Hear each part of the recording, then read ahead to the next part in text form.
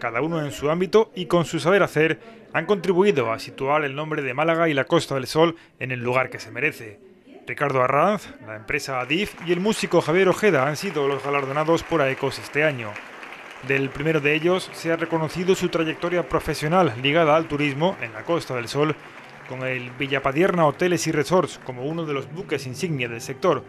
Ricardo Arranz ha confirmado que la situación ha mejorado, pero es indispensable avanzar en algunos aspectos como la seguridad jurídica para los inversores. También me gustaría que, este premio que, que, hoy día recibo, pues que sea un poco un revulsivo para que empresarios, políticos, funcionarios y sobre todo con lo que está cayendo, tengan la fortaleza y tengan de alguna forma la voluntad de copiar a nuestra competencia, de copiar a nuestra competencia en cuanto a lo que hay que dar seguridad, seguridad jurídica inmediatamente y con un estilo muy distinto, cimentado en la cultura y en la música popular, también ha contribuido Javier Ojeda a impulsar las marcas Málaga y Costa del Sol.